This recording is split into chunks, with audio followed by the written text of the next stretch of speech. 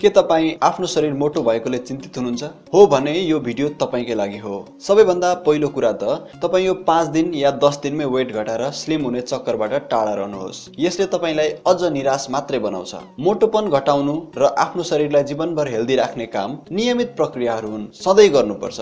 अहिले तपाईँ अस्वस्थ हुनुहुन्छ। यसको मतलब हुन्छ तपाईँमा स्वास्थ्य सम्बन्धी ज्ञानको अभाव छ। अन्य विषयहरू जस्तै यसलाई पनि नियमित अध्ययन र यसको प्र्याक्टिस गर्नुभयो भने तपाईँले सोचेको स्वास्थ्य पाउन सक्नुहुन्छ।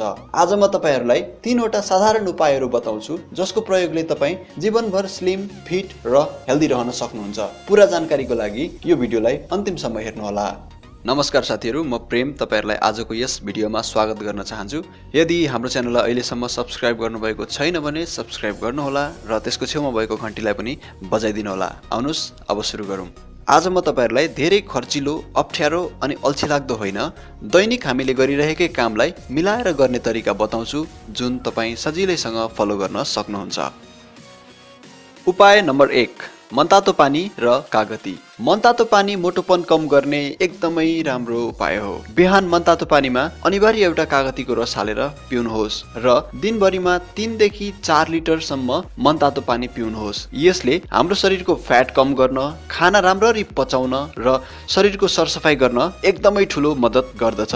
र पानीको विषयमा डिटेलमा बुझ्नका लागि मेरो अर्को भिडियो हेर्नुहोला त्यसको लिङ्क माथि आई बटनमा र तल डिस्क्रिप्सन बक्समा पनि हेर्न सक्नुहुन्छ।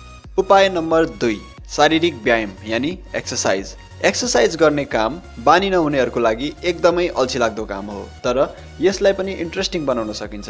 वास्तवमा हामीले खाएको खानाको प्रयोग हामीले गरेनौँ भने त्यो शक्ति जम्मा भएर बोसोको रूपमा बस्दछ र यही क्रम नियमित चल्दा तपाईँको मोटोपन बढेर गएको हो। त्यसैले दैनिक बिहान खाली पेटमा अनिवार्य शारीरिक व्यायाम गर्नुहोस्। खाली पेट व्यायाम गर्दा तपाईँको शरीरले शरीरमै जम्मा भएर बसेको फ्याटबाट उसलाई चाहिएको इनर्जी लिन्छ र फ्याट कम हुँदै जान्छ।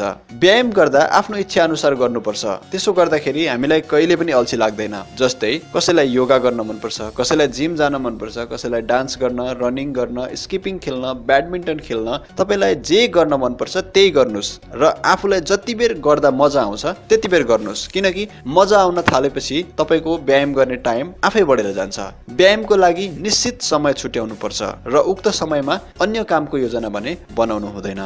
उपाय नम्बर तिन सही खानपान। भनिन्छ खान नपाएर थोरै मान्छे मर्छन् तर खान नजानेर धेरै मान्छे मर्छन्। यो भनाइ कस्तो लाग्छ तपाईँहरूलाई? एकपटक गम्भीर भएर सोच्नुहोस् त। हामीले तिस लाख हालेर किनेको कारको हामी कति जतन गर्छौँ तर सित्तैमा पाएको यो अमूल्य शरीरमा भने जे पायो त्यही हालेर नबिगार्नुहोस्। किनकि कार त पुरै बिग्रियो भने पनि अर्को किन्न सक्नुहुन्छ। तर यो शरीरलाई धेरै बिगार्नु भयो भने जति पैसा खर्च गर्दाखेरि पनि फिर्ता पाउन सक्नुहुन्न। अनि त्यति बेला मात्र यसको महत्त्व बुझ्नुहुन्छ। त्यसैले हामी आफूभित्र हाल्ने कुरा कारलाई जति मात्रै ध्यान दिने कोसिस गऱ्यौँ भने त्योभन्दा ज्यादा गर्नै पर्दैन। खानामा ध्यान दिने कुराहरू। खाना खाँदा ज्यादा सलादको प्रयोग गर्नुहोस् र सिजन अनुसारको ताजा खाना मात्र खानुहोस्। बाहिरको प्याकिङ गरेको खानेकुरा खान बन्द गरिदिनुहोस्। खाना एकैपटक धेरै नखानुहोस्।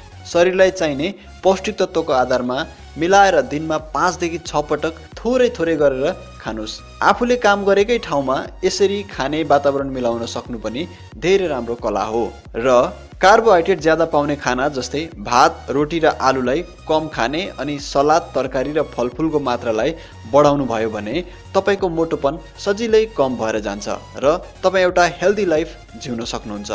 आज मैले तपाईँहरूलाई मनतातो पानी र कागती नियमित शारीरिक व्यायाम र घरमा सही खानपान मिलाएर आफ्नो तौल कम गर्ने साथै सधैँ स्वस्थ रहने तरिका बताएँ। तपाईँलाई आजको यो भिडियो मन पर्यो भने लाइक कमेन्ट र साथीहरूलाई सेयर गर्नुहोला र अरू पनि यस्तै भिडियोहरू हेर्नका लागि हाम्रो च्यानललाई सब्सक्राइब गर्नुहोला र त्यसको छेउमा भएको घन्टीलाई पनि बजाइदिनु होला यति बेर आफ्नो अमूल्य समय दिएर प्रेमपूर्वक मेरा कुराहरू सुनिदिनु भएकोमा तपाईँलाई धेरै धेरै धन्यवाद।